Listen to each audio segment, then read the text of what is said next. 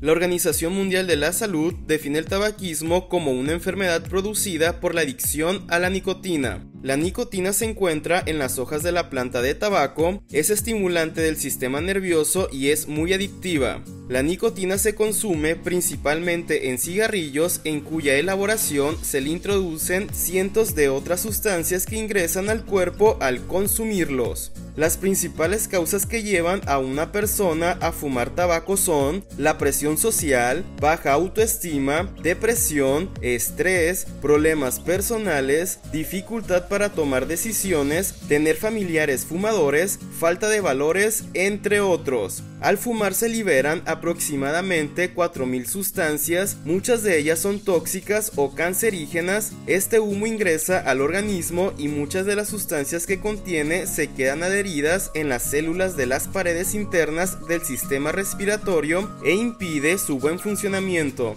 Al paso del tiempo, las paredes de los pulmones se tiñen de negro debido a las partículas de carbón y otras sustancias tóxicas. Fumar aumenta el riesgo de padecer enfermedades graves no solo en las vías respiratorias, sino en todo nuestro cuerpo, como irritación de garganta y bronquios, dolor de cabeza y pecho, mal aliento, disminución de los sentidos del olfato y el gusto, enfermedades gastrointestinales y cardiovasculares, catarros, bronquitis, neumonías, otras enfermedades graves y mortales como la enfermedad pulmonar obstructiva crónica, en la cual se impide el paso del aire a los pulmones, y el enfisema pulmonar, en donde los sacos de aire de los pulmones se encuentran muy dañados. En ambas enfermedades existe dificultad para respirar, cáncer de pulmón, lengua, boca y garganta. De acuerdo a la Organización Mundial de la Salud, mientras a más temprana edad se consume el tabaco, mayor es la probabilidad de desarrollar la adicción.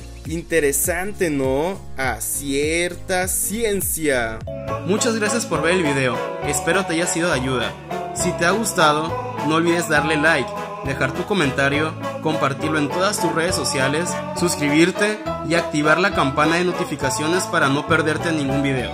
Mis redes sociales se muestran en la caja de información y nos vemos hasta la próxima.